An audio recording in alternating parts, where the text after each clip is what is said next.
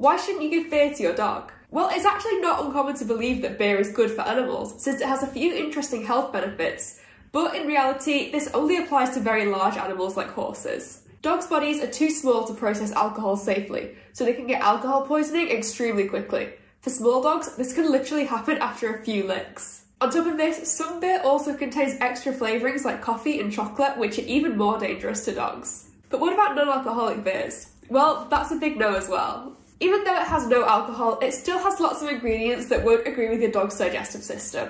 Really, when it comes to drinks, your dog doesn't need anything other than water to keep them healthy. And as a general rule, human drinks aren't safe for dogs. They're normally too high in sugar, caffeine, or alcohol. This means they have no nutritional benefit at best and they can be fatal at worst. Does your dog have a favourite drink? Let us know in the comments.